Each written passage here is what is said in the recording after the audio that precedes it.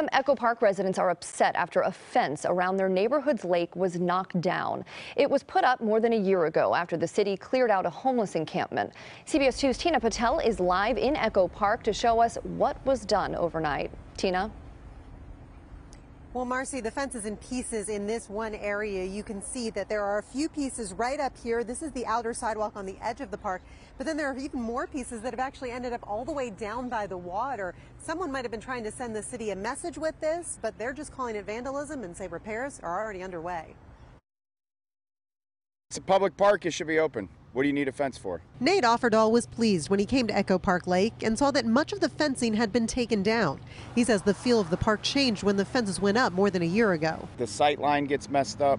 Uh, it, it's definitely creates an atmosphere that almost feels unwelcoming. But others say the park has been more welcoming since the city cleared out the homeless encampment that had been here and started shutting down the park during the overnight hours. Parks at nighttime can cause a rise in crime, as was seen here in the experiment that was unfenced Echo Park. Many people tell us although they have compassion for those who are unhoused, they didn't feel safe bringing children to the park when there were so many living at the lake. Some, not all, do some drugs out and about or like just take off their clothes. It's not clear exactly who removed the fences last night, but they left behind a sign that read the People's Park LA.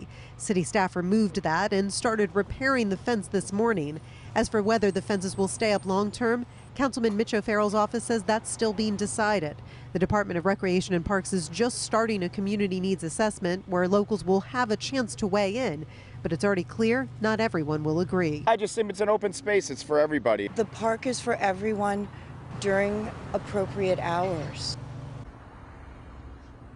Now, again, Councilman O'Farrell's office says it will be an independent, community driven process to figure out the future of the park. And he says they will not only look at security measures, but also programming and amenities here. I'll send it back to you.